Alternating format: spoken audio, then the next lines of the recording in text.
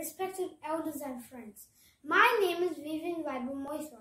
I am seven years old and I am to speak few words about our Indian freedom fighters. Give me blood and I will give you freedom.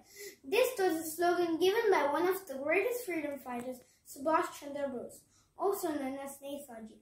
India had been ruled by British for almost 200 years. After continuous struggle by our freedom fighters, India achieved independence on August 15, 1947.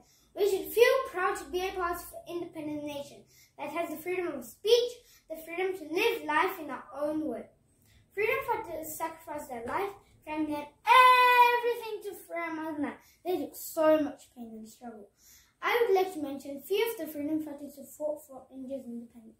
Mahatma Gandhi ji, Nehru ji, Subhash Chandra Bose, Mangal Pandey, Bhagat Singh, Begum Hazrat Mahal, Annie Besant, and others.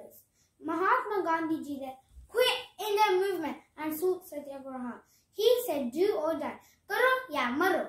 Bhagat Singh was Inqilab Zindabad, which became a very famous slogan during independence. Bal Gangadhar Tilak said Swaraj is my birthright and I shall it.